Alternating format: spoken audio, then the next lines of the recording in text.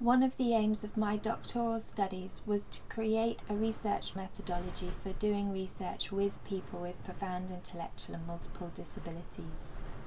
In collaboration with Becky, Senan, Felicity and Charlena, we've developed a methodology loosely termed being with. To be with somebody, I try and locate their intention and then I co-locate my intention with theirs and that gives rise to the possibility of being with.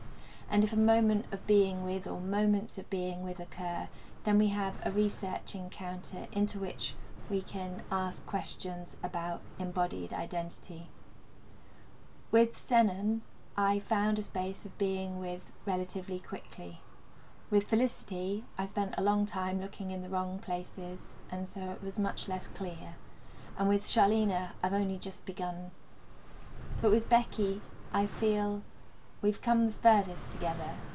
Initially I was working out where she was and then I think I found her and then for parts of our work together she's found me and called me into being. And in our first paper we wrote about a mode of being with and I wonder if you can see it in these pictures now.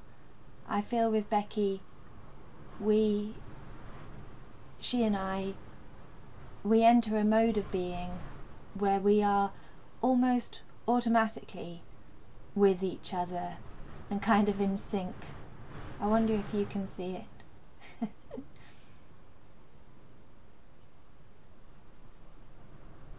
and in this space of being with, there is not the separation between one person and another that you would ordinarily expect and so it's a very interesting place to do research.